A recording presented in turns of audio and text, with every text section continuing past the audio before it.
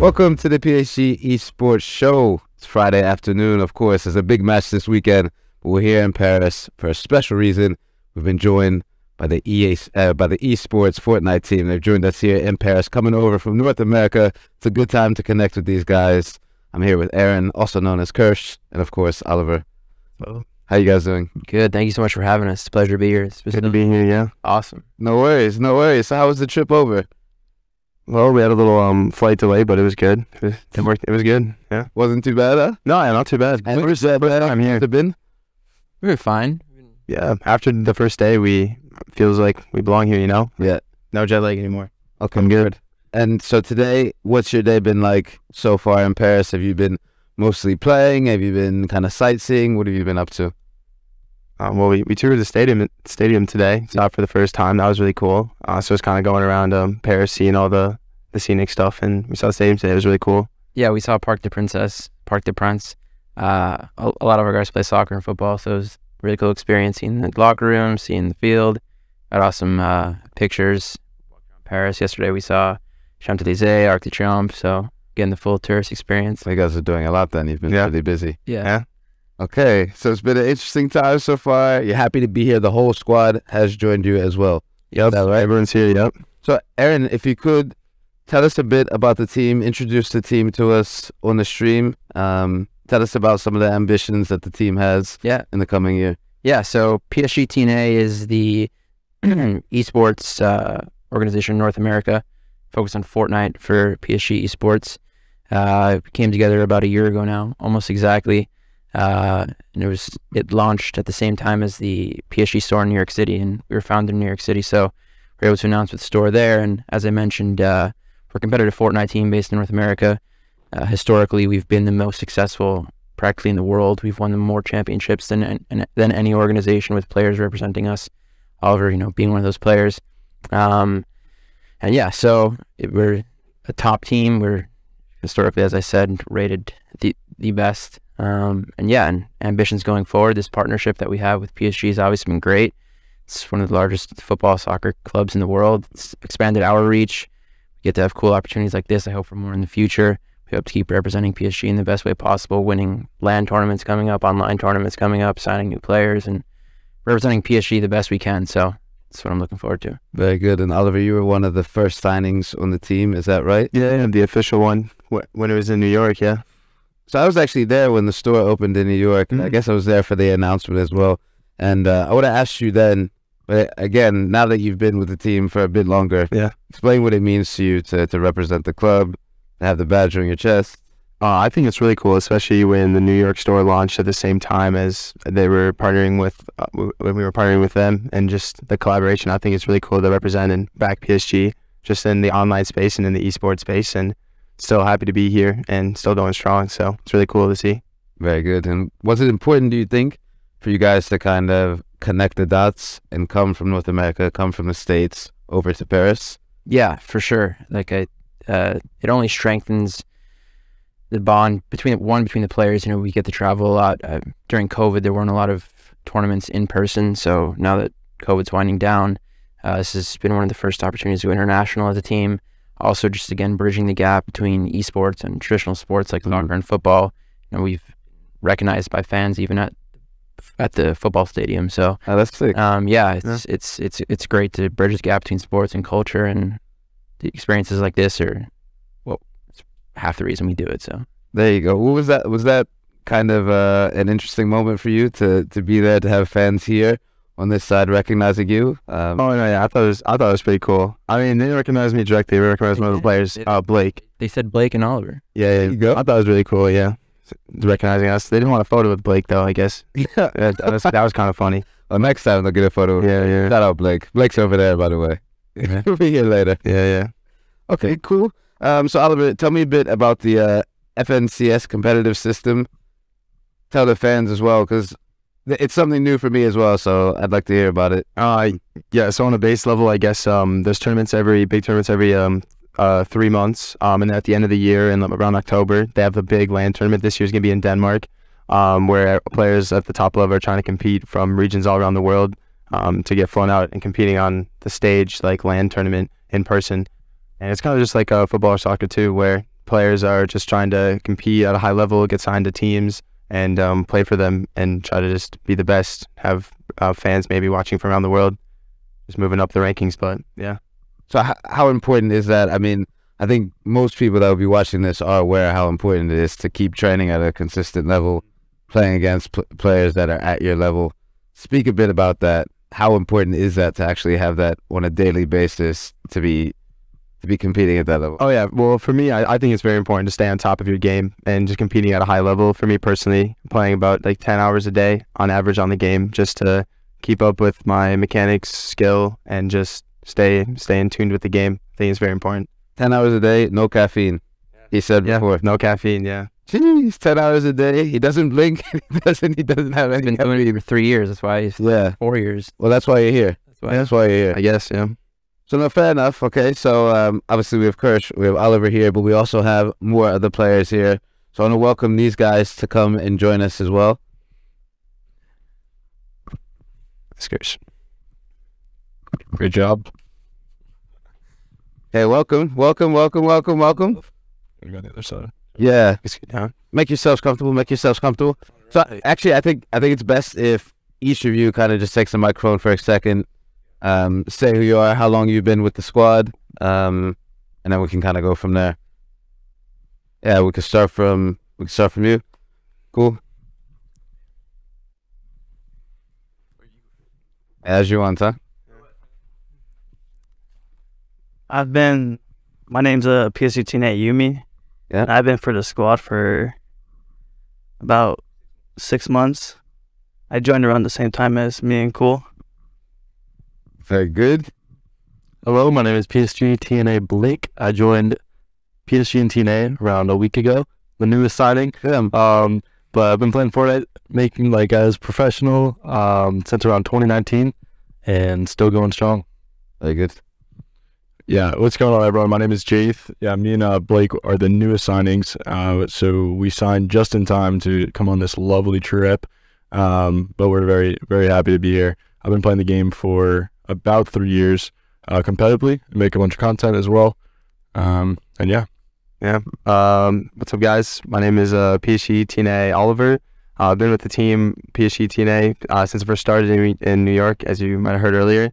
Um, but I've been on TNA for um, well over, it might almost be three years now, two and a half years. Um, so I've been around for a while before this um, whole collaboration, too. And been playing Fortnite for about over four years now, too. Been around. Yeah, I'm PSG TNA Cool. Joined the team about six months ago with Yumi. Uh, I've been playing competitively for about two to three years. And uh, yeah, it's just, I'm grateful to be here. Thanks for the opportunity. So, how's Paris treating you guys? We spoke a little bit off camera. You guys are saying the jet lag is not really getting to you anymore. You slept well last night. How's Paris treating you? yeah, we we did a lot of exploring yesterday. So I think I hit about like twenty five thousand steps, which means like everyone did. um, and we've had some really delicious meals so far, so that's been a, a big plus. Um, and a lot of lot of sightseeing. So, um, is the food better here? The States? What are you saying? the food here is definitely different than the states, but no, it's definitely it's good. Like we went out to breakfast this morning before all the PSG stuff, and it was great. Okay, cool. You went to the Parc des Princes. You were in the locker room. You walked around the stadium. Did you guys take photos? How was the experience for you guys? I heard from Oliver already how it was, but how was the experience for you guys as well? Yeah, we took lots of pictures. It was a lot of fun seeing all like the locker room, the field, everything. Yeah. and took lots of team pictures, solo pictures, all that. Nice. So you guys, obviously, Fortnite is the game. Uh, Aaron was saying, Kirsch was saying that you guys are also interested in football. Do you watch the matches as well, or do you play a bit of FIFA? Uh, Is there some crossover or no? No, Strictly Fortnite. no, we don't play many other games, Yeah. especially not FIFA. But I mean, I, I recently got a PS5. I've been playing a little bit of FIFA. Yeah, I'm Very good. not that good, but it's fun. Well, just play for a little bit of a break from Fortnite from time to time. yeah, yeah, we need a break sometimes, yeah. Yeah, yeah. We're not because we play all the time. Yeah. I played a lot of uh, well soccer, football in uh, high school. Nice. So I've always had a love for the game. Um, and when I was very, very young, I was actually a huge Chelsea fan, but I stopped following them, and I've now obviously uh, become very invested in uh, in PSG. So uh, it's funny how that uh, turns out. That's cool. Okay, so Yumi and Cool, you two were playing together for a long time. Is that right? Yeah, we've been playing for over a year. Back in chapter two, um, yeah, we found each other and did really well. First season playing, won grand finals, and yeah, we just been playing ever since. Okay, nice. We've uh we've been friends for three years in the same like friend group for Fortnite, Right. and he was always a little better than me, and I always wanted to like get to his level to play So with you him. were like competitive friends, huh? Yeah. Yeah. Okay. Once I got to his level, we ended up playing. I think like eight months ago. Yeah. and then that was our best season, and we ended up winning NA West. Nice. Okay. Oliver was telling me he plays around ten hours a day. Is it roughly the same for you guys? Same amount of hours in the day? Wait. or- And, uh, It's definitely less for us because he streams. Okay. So he has to like make content. So he definitely plays a lot more, maybe than all of us. But I play probably around like half that a day. Five hours. Four. yeah, around Five hours or It depends on the day. Yeah, depends on the day. around five hours. Like school days for me, school days, but weekends obviously I'm gonna be grinding more, right. have more time. Yeah, it depends. Okay, and Jaith, now you're specialized in the Fortnite game mode named Zero Build, right? Yep. Explain to us the difference with that game mode. How is that different than than the conventional, the classic game mode? Yeah, so that came out about a year ago, and it is pretty much what it sounds. So it's zero building. Uh, so it kind of takes like, you know, the traditional uh, reason of, of why Fortnite became so popular, and they kind of just removed it.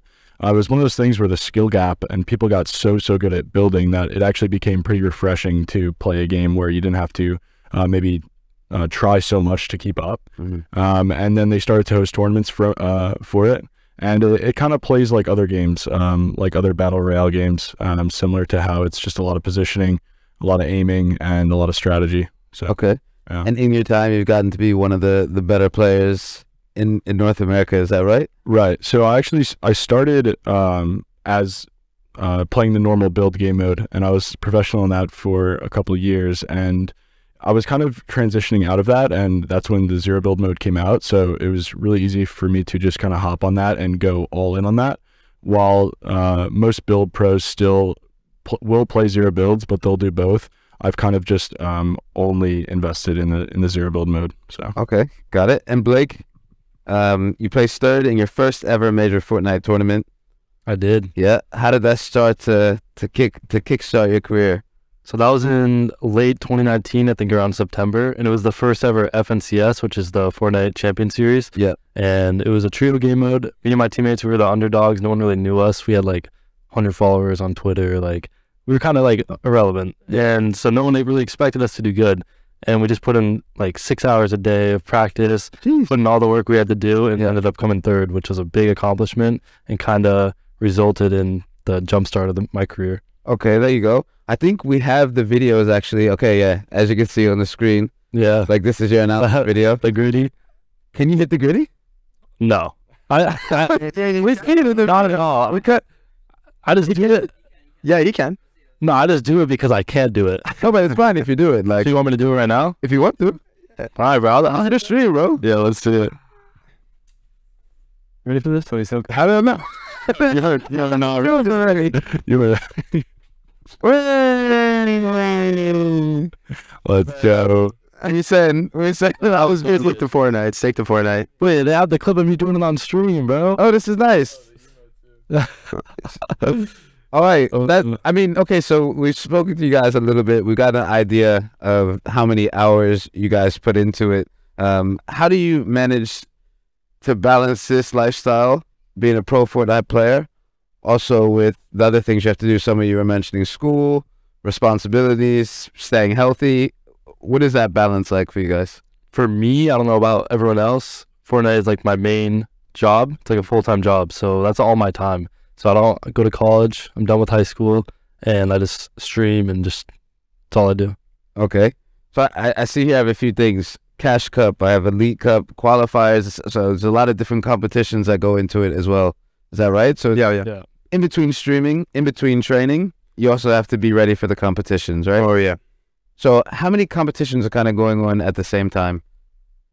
Um, it kind of depends. Um, the official Fortnite tournament's probably about like three a week, and there's always two round cash cups and stuff. So you have to play opens for three hours, and then the next day is the finals for another three hours, where the that's where the cash is at.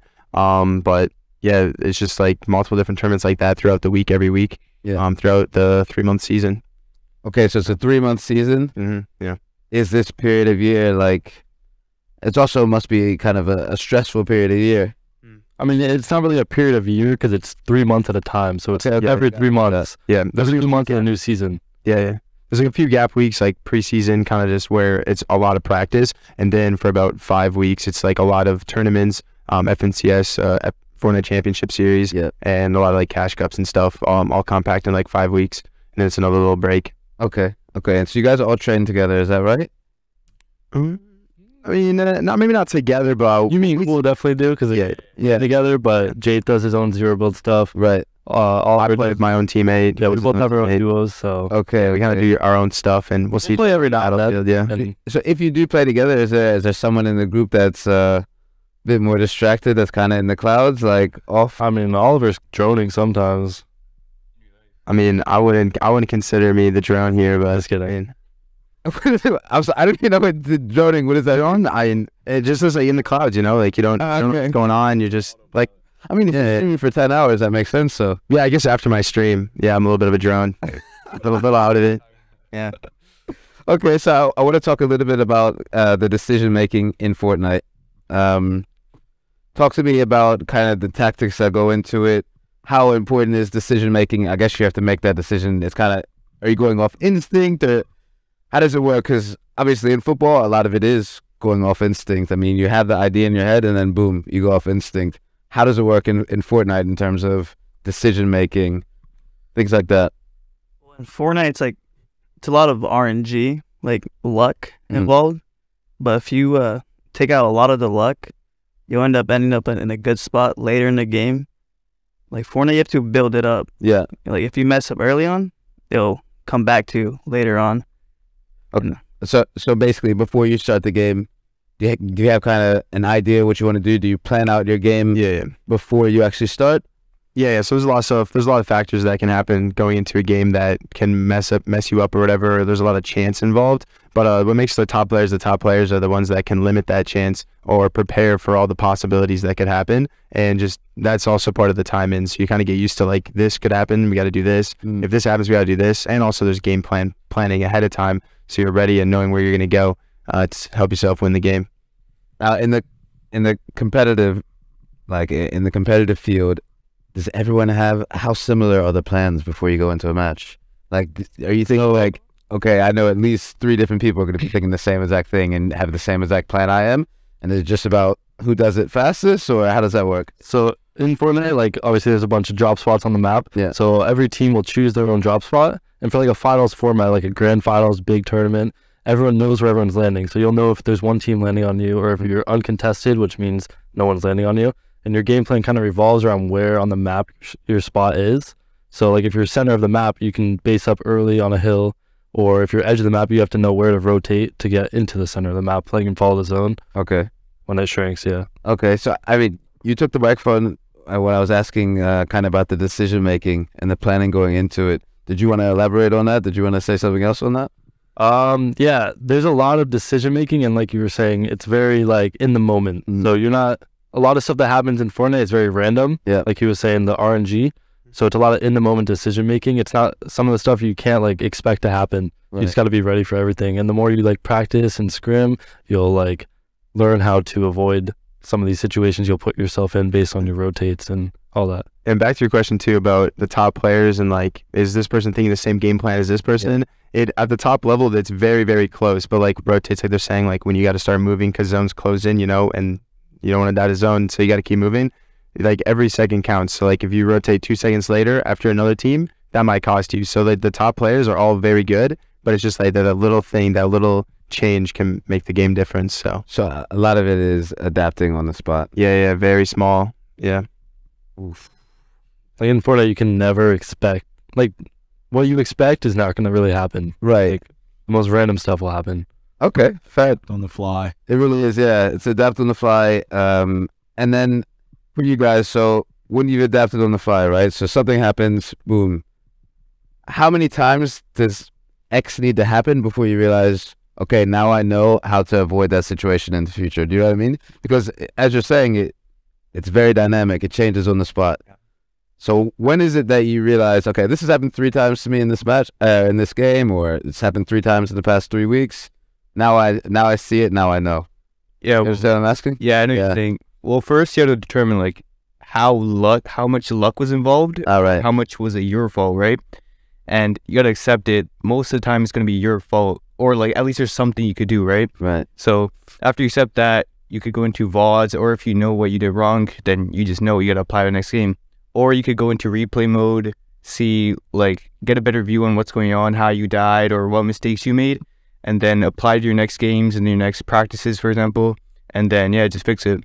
Okay. Cool. So you two at the moment, Yeah, we do. you me, you guys are first place, and FN uh, CS finished finished qualified.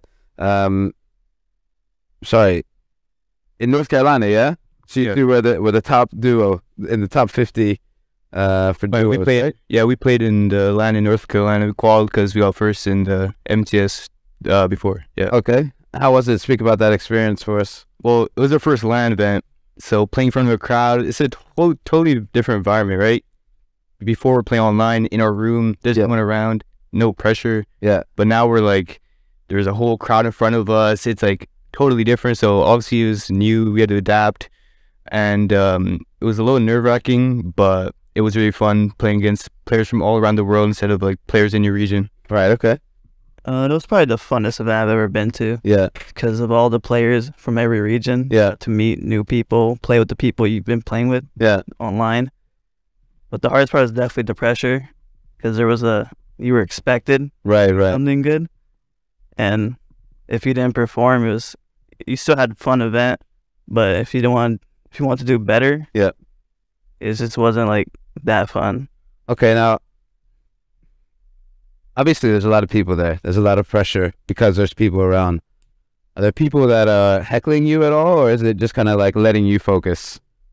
You understand what I mean? Yeah, Are there people there around you, kind of yelling at oh, you Oh, or anything? I don't know. No, th- we're like in our own space. uh, there's no one really like there's no third party like talking to us but it's just we know there's a crowd in front of us it's a big first LAN event uh like since covid right Yeah. so there's many watching online Yeah. it's just knowing that there's this many eyes watching you that's that's pressure that's the pressure. that's the pressure yeah No, I can understand. I mean, I, obviously for footballers, they have the when they go from kind of the, the youth level to professional.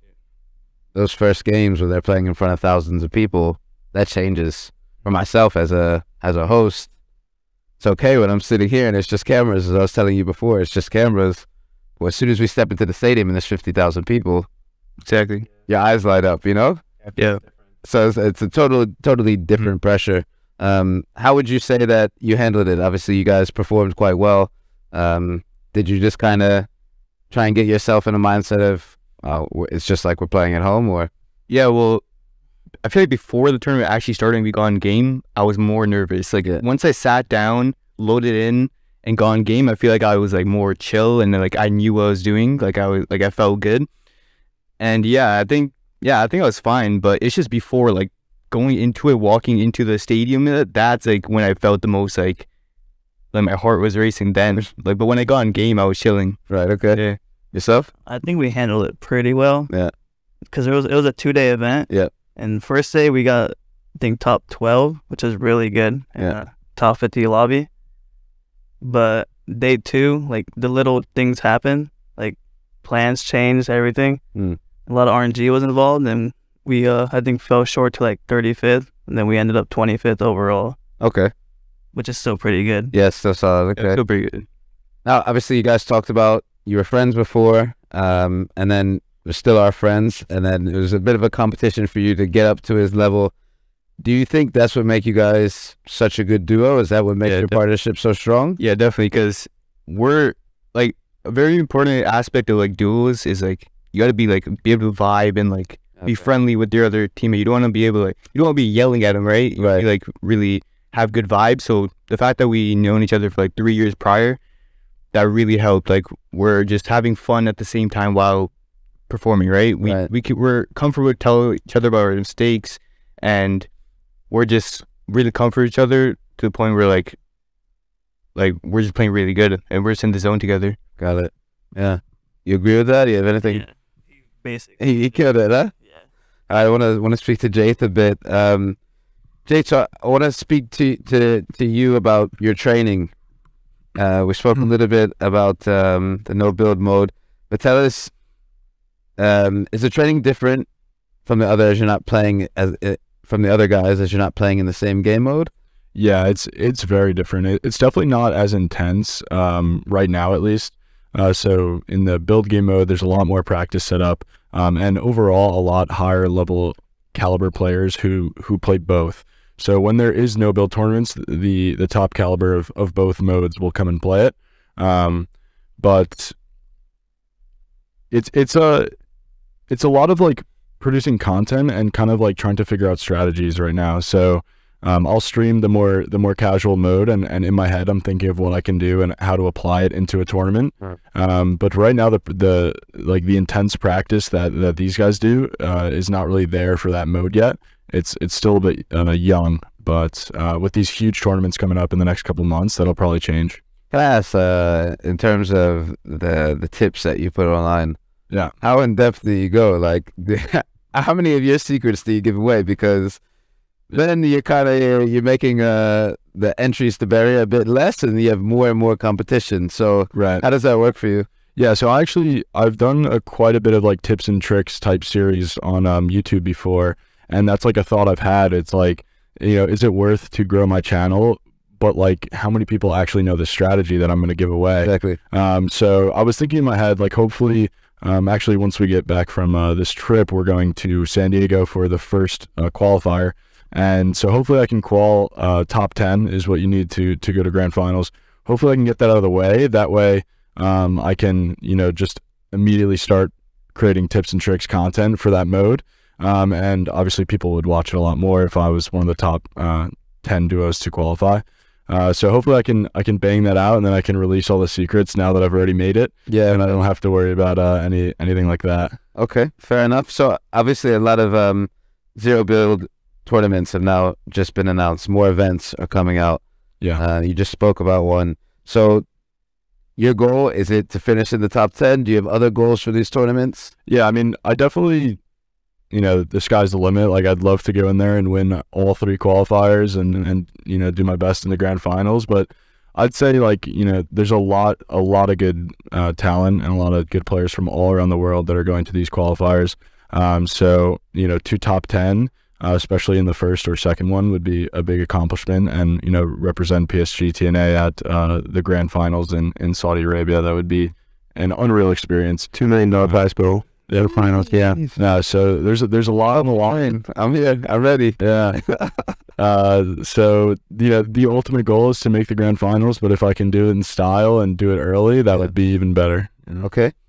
Blake, a few questions for you. So you've been one of the most consistent players in North America at the moment, um, competing at a high level since the game was released. How do you manage the, uh, manage to con- consistently perform, even with map strategies constantly changing? Um, I don't know. I just I've been playing Fortnite since it came out. Yeah. So I feel like I'm able to adapt to the new metas quickly, which is a big thing when new seasons come out, new items come out. You have to learn to like adapt to like what the new meta is. So how to play the game. Yeah. What to do in certain situations, and I feel like I've just been able to adapt to those pretty well for the most part. So there's been 16 FNCSs now. I've made 12 of them, Yeah. which is a really good ratio because not many people have made 12 out of 16. But yeah, basically just adapting quick.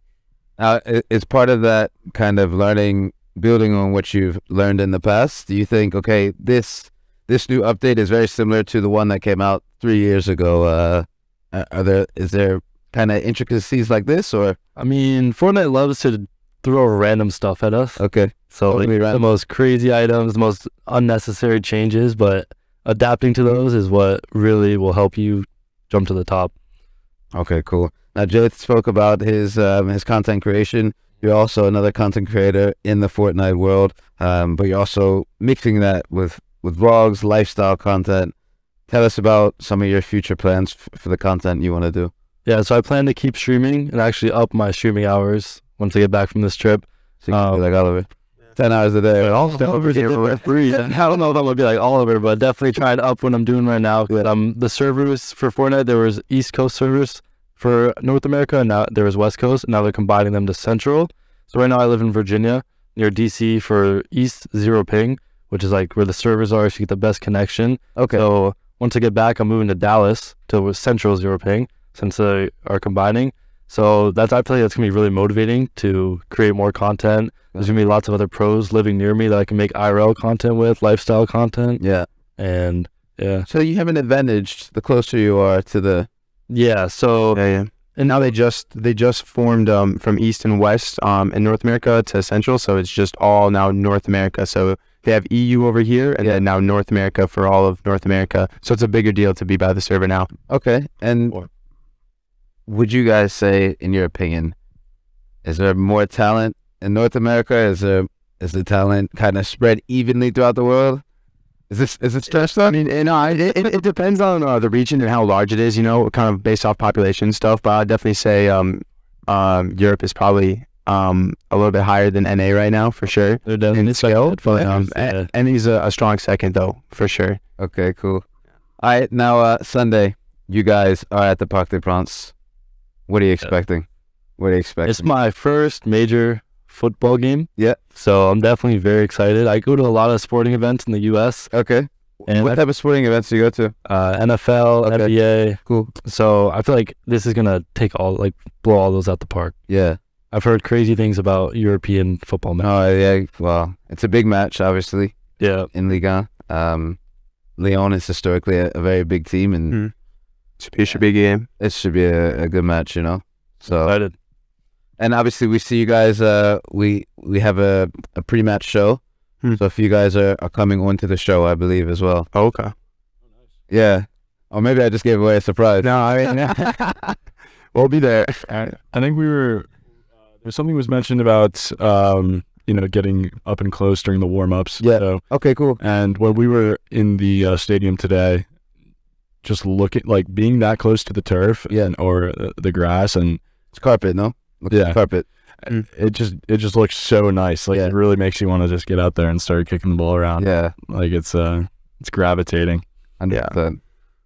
Oh yeah, I, I agree. I think the game will be really cool to to see. I don't really get out much, so I think uh, seeing seeing uh, a football game at this level in person will be really cool with just all the players and everything. Just I think it'll be really cool. Very Really good good. experience. Well, that was it, guys. That was uh that was the stream for today. We're here with the PSG TNA Fortnite squad. Thanks for coming over, guys. Hey, thanks for having us. No doubt, no doubt. We will see you uh, at the Parc des Princes on Sunday. That's all for now. David, the host, stayed. Thank you. Peace out.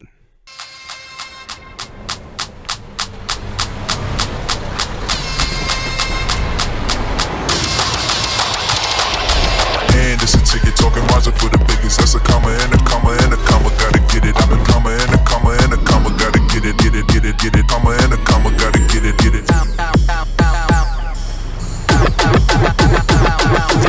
And it's a ticket talking Maja for the biggest. That's a comma and a comma and a comma. Gotta get it. I'm a comma and a comma and a comma. Gotta get it, get it.